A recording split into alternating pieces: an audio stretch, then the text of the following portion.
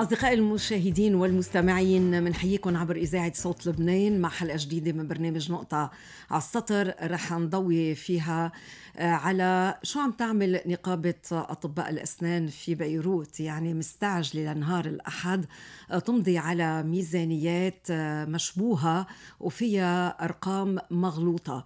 هيدا برسم المعنية. رح نضوي على هالنقطة وعلى هالملف بالذات اليوم مع رئيسة ندوة أطباء الأسنان في حزب الكتائب الدكتورة إيميلي حايك رح نفتح كمان ملف المستشفيات.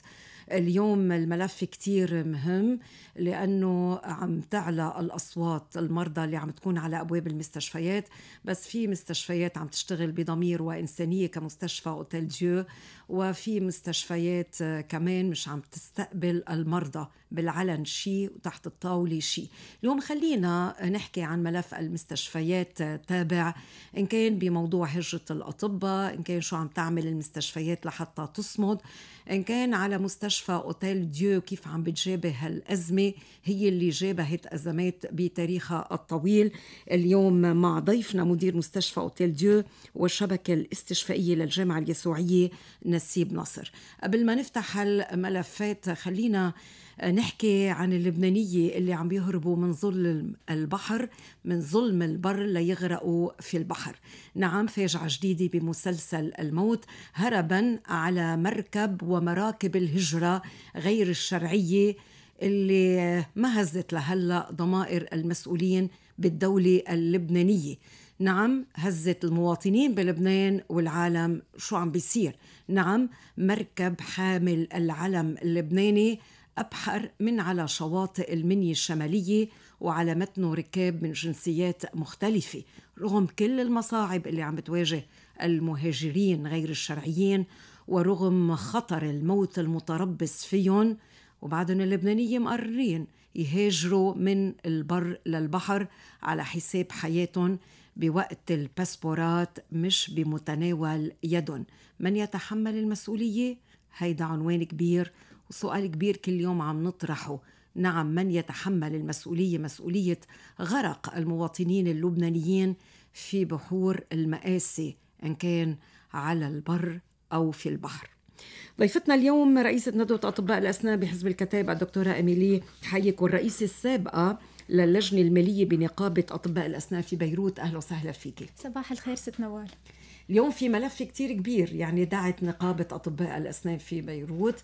اليوم إلى جلسة نهار الأحد لتمضي على ميزانيات غير قانونية وفيها نعم. كتير من الإنة أطباء مخفية وأرقام مشبوهة.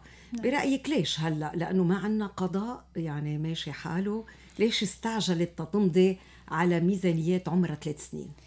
هيدي الميزانيات مثل ما عم تقولي ست نوال عمرها ثلاث سنين. هي ميزانيات ل 2019 20 و 21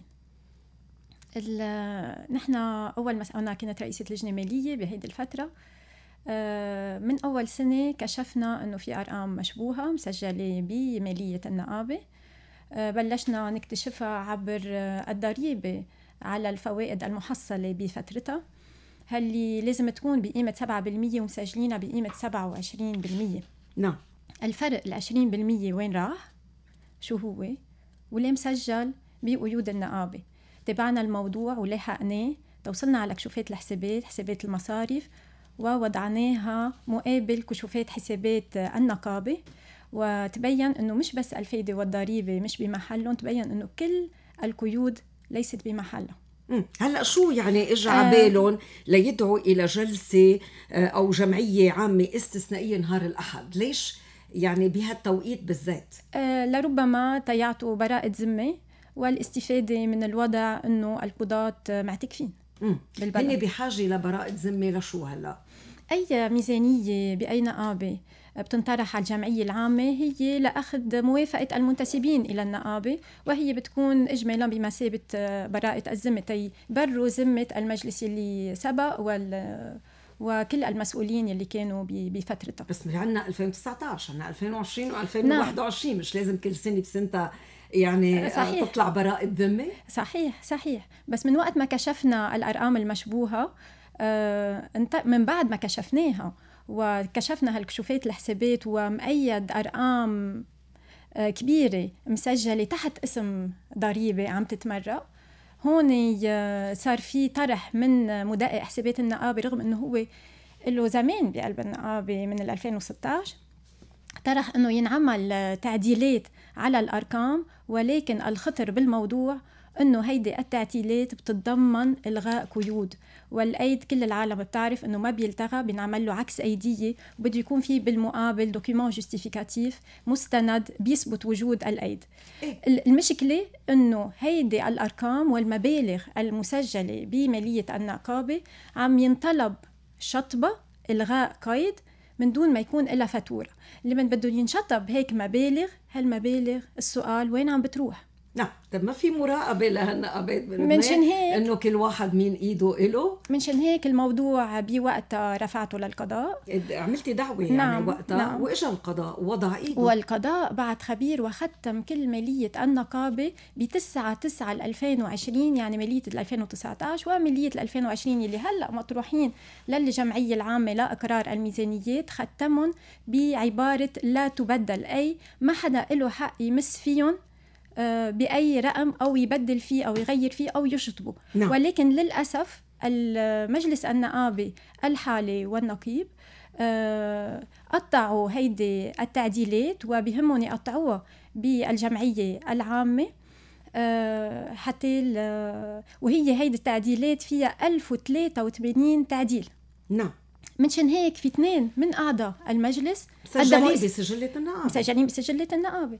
آه في اثنين من أعضاء المجلس قدموا استقالاتهم وهن البروفيسور إلياس معلوف والبروفيسور فيليب حج قدموا الاستقالات لها السبب تما يشهدوا زور على اللي عم بيصير بقلب النقابه وبالتعديلات آه اللي عم بتصير سبق الفضل قبل يعني كم مرة حاولوا إنه كثير كان في محاولات عديدة لتمريرها. لا. أكيد ما كنا نخليها السنوات الماضية ما كنا نخلي في مين يوقف بوجههم؟ صحيح حضرتك طبعا. صحيح. طب اليوم ولكن مين اليوم يوقف بوجههم ولكن اليوم آه، مطلوب من الأطباء يوم 25 الأحد آه، إنه هيدي هيك ميزانيات ما تتقطع.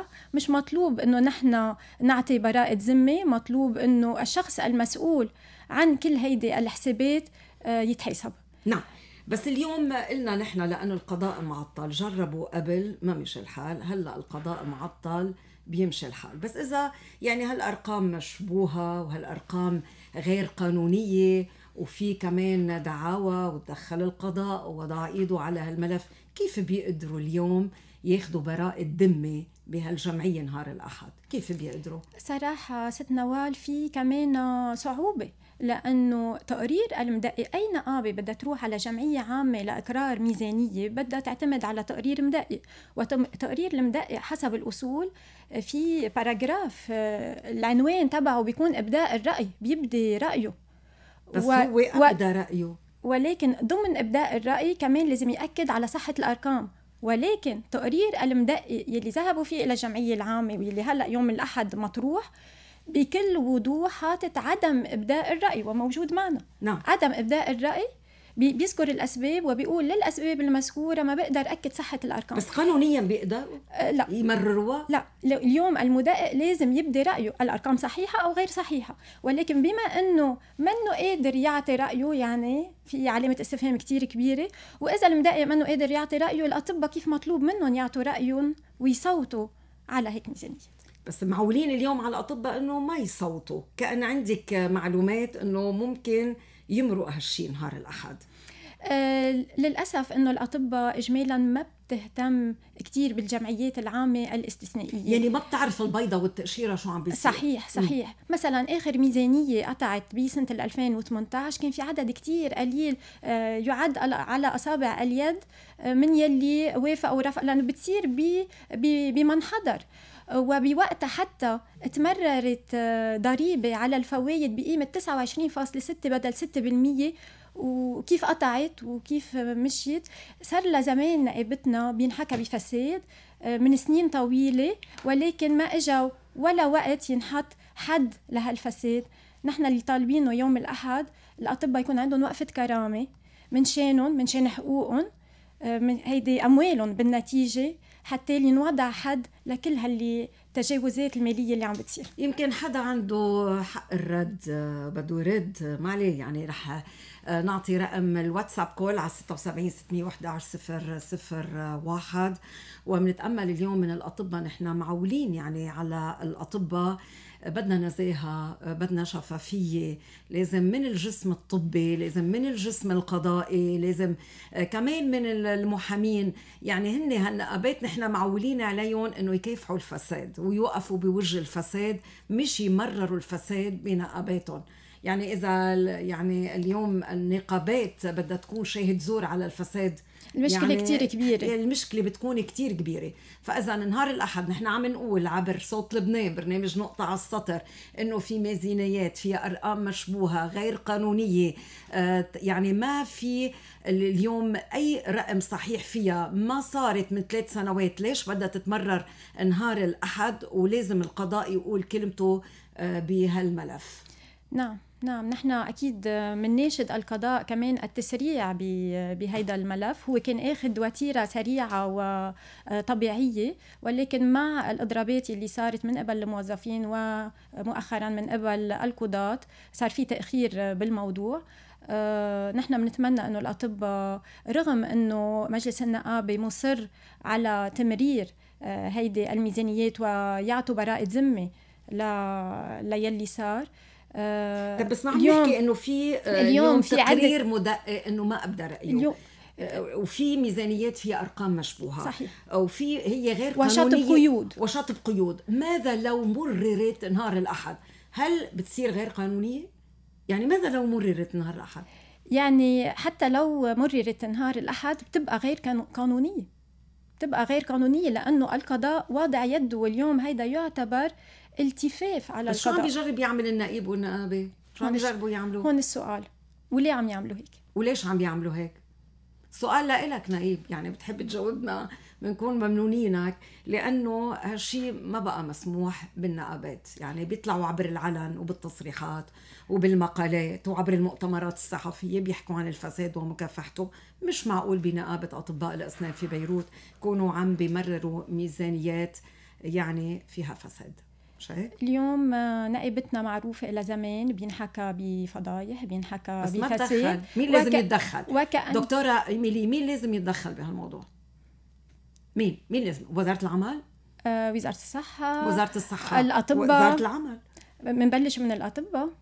آه، كل المسؤولين بقلب النقابة يكون ضميرهم موجود آه، قبل أي حسابات أخرى. يكون في محاسبة وزارة الصحة. آه القضاء اليوم القضاء واضع إيده على ملف يعني كأنه خاتمه بالشمع الأحمر. ليه بدهم يجوا يفتحوا هالملف و... ويمرروا هالأمور هيدي؟ نعم. هن مرروا هالشيء بالإعلام ولا بس أرسلوا للأطباء إنه عن الجمعية نهار الأحد؟ آه أرسلوا للأطباء ونشروها بالجرايد بوقتها. نعم. أنا بدي أشكرك اليوم ضيفتنا رئيسة ندوة أطباء الأسنان في حزب الكتابة الدكتورة أميلي حايك على أمل ما يتمرر هالشيء إن شاء الله. إيه ولو تمرر رح يصير في أكيد دعاوى ضد هالميزانيات الغير قانونية طبعا طالما هي غير قانونية والقضاء وضع يده والمدقق مش قادر يعطي رأيه وكل هيدي الأمور وشطب قيود يعني شو بعد بدنا أكثر من هيك نعم. اليوم على الأطباء أنه يعطوا صوتهم يوم الأحد وتكون وقفة كرامة وقفة كرامة. لأن هيدا الشيء بمس فيهم شكرا لك رئيسة السابقة للجنة المالية بنقابة أطباء الأسنان في بيروت ورئيسة ندوة أطباء الأسنان في حزب الكتاب الدكتورة إيميلي حايك. لهالموضوع تتمة يعني أشوف شو بده يصير نهار طبعا. الأحد ونحن معولين عليكم أطباء الأسنان في بيروت لمكافحة الفساد.